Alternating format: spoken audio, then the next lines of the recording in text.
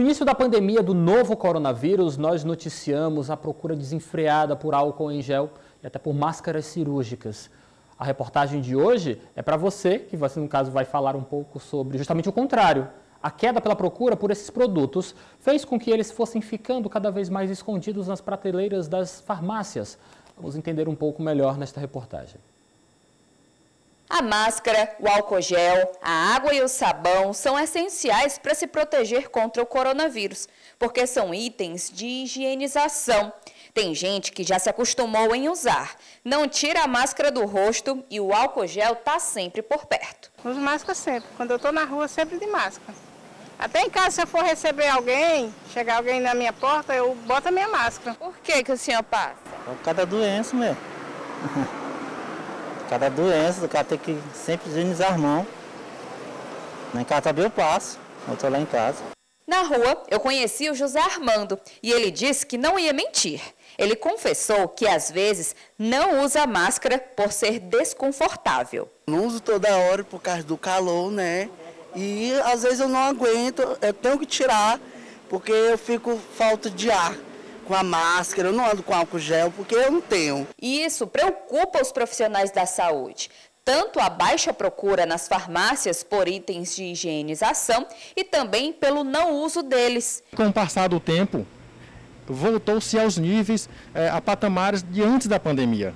Deu uma, uma, uma queda na, nesses, na procura desses medicamentos. Você vê que o produto se espalhou e muita gente ou muito comércio está vendendo. Então, por isso que eu não posso dizer que a pessoa está deixando de usar ou não.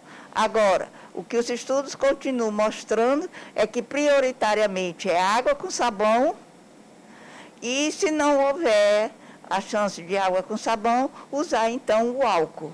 Ou álcool a 70 graus líquido ou álcool gel a 70 graus. Se você também não gosta muito de usar máscara e fazer a higiene das mãos, essa reportagem é para te dizer a importância de se proteger. A Organização Mundial de Saúde recomenda o uso de máscara para todos. Isso porque ela faz uma barreira contra as gotículas infecciosas do vírus. É por isso que ela precisa cobrir o nariz e a boca e ter duas camadas de pano. E se você não usar a máscara, pode levar multa. É isso mesmo. De acordo com o decreto do governo do estado, para pessoas físicas, o valor pode variar de 500 a mil reais. E para pessoas jurídicas, pode ser de mil até 10 mil reais. A multa pode variar de acordo com a gravidade da conduta e da condição econômica do infrator. A ciência do mundo inteiro tem mostrado uma das maneiras que você tem de evitar a contaminação, não só se contaminar, como também evitar a contaminação das outras pessoas. Já foram seis meses de pandemia e muitos perderam o medo da contaminação. Você não fica com medo? Não, que a gente tem que ter fé. Com fé a gente não vai pagar nenhum.